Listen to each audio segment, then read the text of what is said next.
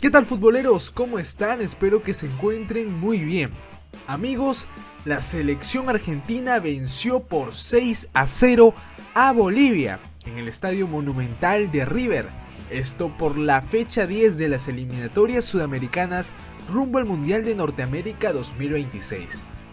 La selección albiceleste hizo un muy buen partido. La verdad, caminando, sin despeinarse, pudo vencer cómodamente a Bolivia, una selección con una calidad y un plantel ampliamente superior. Teníamos a una selección boliviana que llegaba con mucha ilusión para este partido, sobre todo por los buenos resultados que habían conseguido en sus tres últimos partidos. Lamentablemente el día de hoy no pudieron seguir en la senda del triunfo y cayeron justamente ante la campeona del mundo y la bicampeona de América. Nada que decir al respecto, la selección boliviana fue ampliamente superada, pero lo que más duele es el marcador que han recibido, 6 a 0. Bueno amigos, ¿quieren saber lo que está comentando la prensa boliviana? Pues quédense en este video.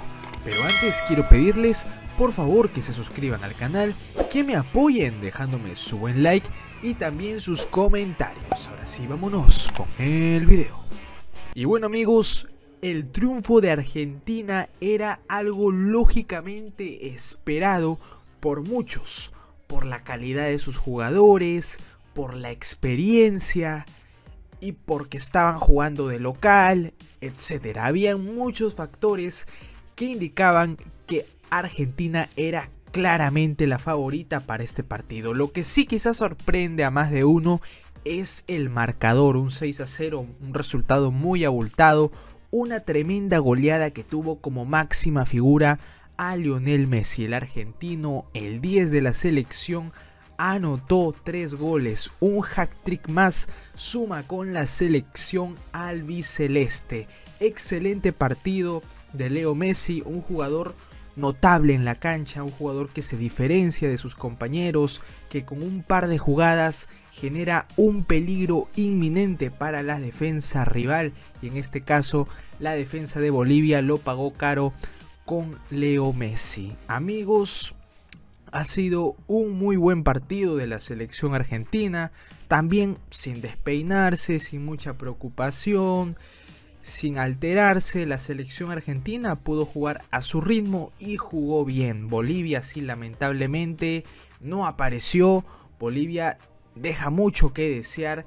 Venían bien, pero estas cosas suceden y sobre todo ante selecciones de categoría, la campeona del mundo y bicampeona de América, como lo es Argentina. Espero que este video les haya gustado.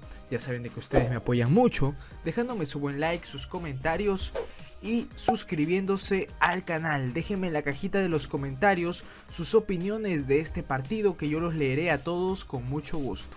Conmigo será hasta un próximo video. Adiós.